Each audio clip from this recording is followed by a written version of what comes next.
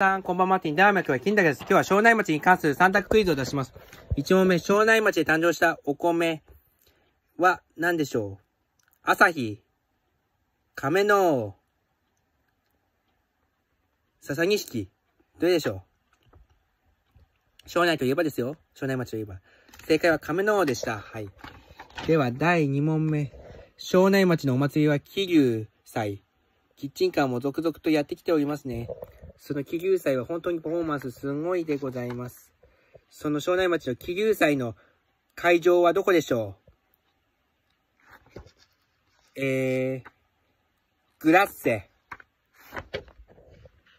えー、グラッセというか何でもバザールあってば、花房醤油株式会社。町湯。さあ、どれでしょう？これ3択です。簡単です。正解は町湯でした。では、第3問目。はい。庄内町はいろいろなものが満載ですが、えー、庄内町響きホールでもいろいろとやってますし、はい、いろいろな名所が満載です。では、ラーメントンタの跡地にできたその店の名前は何でしょう？お店の名前です。えー、一番手、シナトラ、ラーメンショップ、ラーショー。まあ、ラーメントンタのところでさまるめに。正解はシナトラでした。第4問目。はい。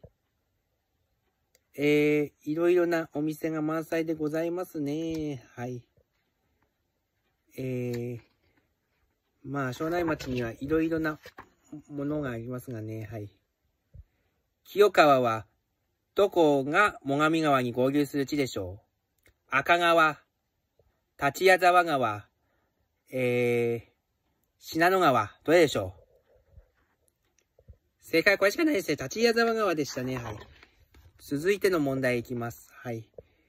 清川は歴史上の人物、清川八郎という方でございます。では、清川にゆかりのある偉人は誰でしょう？松尾芭蕉、小林一茶。